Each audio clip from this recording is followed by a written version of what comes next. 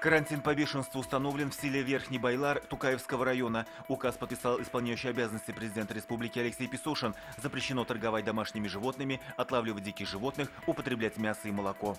С начала года в Татарстане произошло 452 мошенничества. Больше половины из них совершены с использованием телефонов и интернета. Об этом сегодня полицейские рассказали на пресс-конференции. Действуют мошенники на улицах. В январе задержали жительницу Казани, которая обманула 17 человек. Из курсантов в офицеры сегодня 122 студента Казанского танкового училища стали профессиональными военными. Торжество прошло с соблюдением всех воинских традиций. Этот выпускной для училища особенный, юбилейный 70-й.